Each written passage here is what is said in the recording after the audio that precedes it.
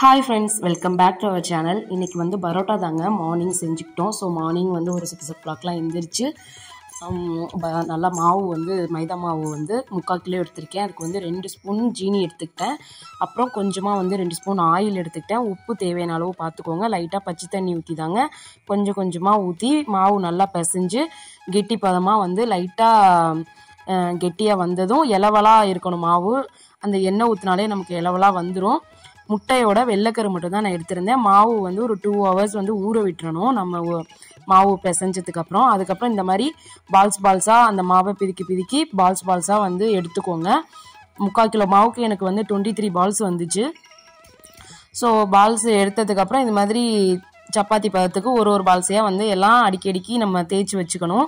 தேய்ச்சி வச்சுக்கிட்டு அதன் பிறகு என்ன செய்யணும்னா அந்த வீச்சு போடுவாங்கள்ல விசிறி விசிறின் மாதிரி எல்லா எஜ்ஜு பக்கமும் நல்லா விசிறி விட்டு விசிறி விட்டு கையால் வந்து இப்படி ரொட்டேட் பண்ணி ரவுண்ட் ரவுண்டாக வந்து தனித்தனியாக எடுத்து வச்சிடணும்.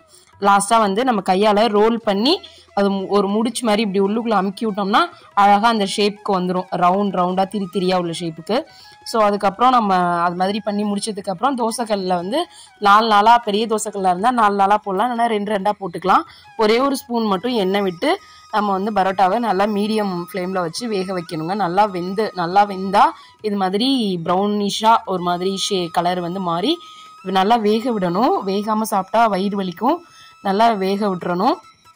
ஹை ஃப்ளேமில் வைக்காதீங்க. மீடியம் ஃப்ளேமில் வச்சு வே வேக வைங்க.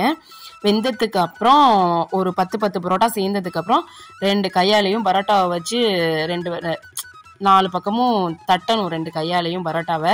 அந்த கடையிலலாம் செய்வாங்களே ரெண்டு அமுக்கு அமுக்கி தட்டினாக்க ஒரு மாதிரி ஃப்ரீஸாக மெலிசாகிடும் பரோட்டா வந்து. அது மாதிரி பண்ணிட்டு நம்ம சாப்பிட்டோம் அப்படின்னா டேஸ்ட்டாக இருக்கும். இது வந்து முட்டை மடக்கு பரோட்டா. பரோட்டாவை விசிறி விட்டோம்ல அந்த விசிறி விட்ட டைப்லயே தோசைக்கல்ல போட்டு முட்டையை உடச்சி ஊற்றி நாலு பக்க லேயரையும் மடக்கி விட்டோம்னா அதாங்க முட்டை மடக்கு பரோட்டா. வெறுமனேவும் முட்டை மடக்கு பரோட்டா வந்து நம்ம போடலாம். எப்படின்னா முட்டை போடாமல் அந்த விசிறி விட்டதை வந்து இது மாதிரி தோசைக்கல்ல போட்டுருங்க. அப்புறம் நாலு பக்கட்டும் வந்து உள்ளே மடக்கி விட்டு அது மாதிரி போட்டோம்னா இதுவும் லேயர் சாஃப்டாக இருக்கனால நல்லா ஒரு சாஃப்டாக ஸ்மூத்தாக சூப்பராக இருக்கும். கடையில் காசு கொடுத்து வேஸ்ட் பண்ணாதீங்க. முக்கால் கிலோங்கிறது நான் ஒரு கிலோ வாங்கினேன் முக்கால் கிலோ மட்டும்தான் நான் இப்போ யூஸ் பண்ணிக்கிட்டேன். ஒரு கிலோ 90 ருபீஸ் தான். இருபத்தி மூணு பரோட்டா பார்த்துக்கோங்க எனக்கு வந்திருக்கு. நீங்கள் கடையில் வாங்க போனீங்கன்னா பத்து ரூபா பன்னெண்டு ரூபா பதினஞ்சு ரூபா வரைக்கும் விற்குது பரோட்டா. நம்ம வீட்லேயே போட்டு சாப்பிட்டோம்னா ஹெல்த்தியாகவும் நம்ம சாப்பிட்டுக்கலாம். கடையில் வந்து என்னென்ன ஆட் பண்ணுவாங்க ஓவராக என்ன ஆட் பண்ணுவாங்க எந்த என்னன்னு கூட தெரியாது.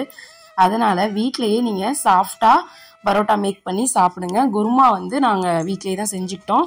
நல்லா கேரட் போட்டு உருளைக்கிழங்கும் கொண்டக்கடலை கொண்டக்கடலை நைட்டே உருவ வச்சுட்டேன். வெள்ளை கொண்டக்கடலை தான் எடுத்துக்கிட்டேன். பச்சை பட்டாணி கூட நீங்கள் எடுத்துக்கலாம். உருளைக்கிழங்கையும் பச்சை நம்ம வந்து கொண்டக்கடலையோ இல்லை பச்சை கட்டாணியோ எது எடுத்துக்கிறோமோ அது ரெண்டையும் ஒன்றா போட்டு குக்கரில் வேக வச்சு எடுத்துக்கிட்டு உருளைக்கிழங்கு தோல் சீவிட்டு போடுங்க. ஈஸியாக இருக்கும். இப்போ நான் அரைக்கிறதுக்கு வந்து என்னென்ன போட்டு வறுக்கிறேன் அப்படின்னா ஃபஸ்ட்டு வந்து பிரியாணி இலை ஒன்று ரெண்டு கிராம்பு ஒரு பட்டை ஒரு க அந்த கல்பாசி பூன்னு சொல்லுவோம்ல அதில் கொஞ்சம் எடுத்திருக்கேன். அப்புறம் பச்சை மிளகாய் மூணு ஒரே ஒரு வரமிளகாவும் எடுத்திருக்கேன். ஒரு பத்து பூண்டு ஒரு சிறிதளவு துண்டு இஞ்சி அதுவும் எடுத்திருக்கேன். அப்புறம் வந்து வெங்காயம் ஒரு நாலு வெங்காயம் ஒரு தக்காளி இது எல்லாமே போட்டு நல்லா வதக்கிட்டு தேங்காய் ஒரு மூடி எடுத்துக்கிட்டேன் ஒரே ஒரு மூடி தான் எடுத்துக்கிட்டேன். அதையும் இது கூட போட்டு நல்லா வதக்கிட்டு ஆறுனதுக்கு அப்புறம் நல்லா பேஸ்ட் கிரைண்ட் பண்ணிடுங்க. அதுக்கப்புறம் ஒரு கடாயில் எண்ணெய் ஊற்றி எண்ணெய் காஞ்சதுக்கு அப்புறம் பெருஞ்சீரகம் போட்டு தாளிச்சா மணமாக டேஸ்ட்டாக இருக்கும். பெருஞ்சீரகம் பொரிஞ்சதும் அது கூட பச்சை மிளகாய் கருவேப்பிலை வெங்காயம்லாம் போட்டுருங்க. அதுவும் நல்லா வணங்கினதும் தக்காளி ஆட் பண்ணிடுங்க. தக்காளி போட்டு தக்காளி நல்லா வணங்கினதுக்கு அப்புறமா அரைச்சி வச்ச பேஸ்ட்டை இது கூட போட்டுருங்க. நல்லா கிளறி விட்டுட்டு ஒரு ஸ்பூன் சின்ன ஸ்பூன் மஞ்சத்தூள் ஒன்றரை ஸ்பூன் வந்து மல்லித்தூள் கால் ஸ்பூன் தாங்க மிளகாத்தூள் சேர்த்துக்கிட்டேன். ஏன்னா ஏற்கனவே வந்து நான் அதெல்லாம் கிராம்பு அப்புறம் இஞ்சி பூண்டெல்லாம் காரமாக இருக்கும். பச்சை மிளகாய் ஒரு வரமிளகாய் வேற போட்டிருக்கேன். அதனால் கால் ஸ்பூன் தான் நான் மிளகாத்தூள் போட்டுக்கிட்டேன். எல்லாம் வந்து நல்லா கிளறி விட்டு தண்ணி ஊற்றிடுங்க ஒரு கொதி வந்ததுக்கு அப்புறமா நான் வந்து கேரட் போட்டுக்கிட்டு நான் ஆல்ரெடி வேக வச்சுருந்த வெள்ளை கொண்டக்கடலையும் உருளைக்கிழங்கையும் வந்து கைய கத்தியால் கொஞ்சம் கொஞ்சமாக சின்ன சின்னதாக கட் பண்ணி எல்லாம் ஒன்றா ஆட் பண்ணிக்கிட்டேன். அதுக்கப்புறம் ஒரு ஃபைவ் மினிட்ஸ் நல்லா கொதித்து உருளைக்கிழங்கு இது எல்லாம் நல்லா வந்து அந்த குருமா கூட நல்லா மிக்ஸ் ஆனதுக்கப்புறம் கேரட் வெந்துச்சான்னு பார்த்துக்கோங்க அதுக்கப்புறம் இறக்க போகும்போது கொத்தமல்லி தலை கொஞ்சமாக தூவி இறக்குனீங்கன்னா நல்லா மணமாக கடை குருமாவே தோற்று போயிடும் அந்த அளவுக்கு டேஸ்ட்டாக சூப்பராக இருக்குங்க.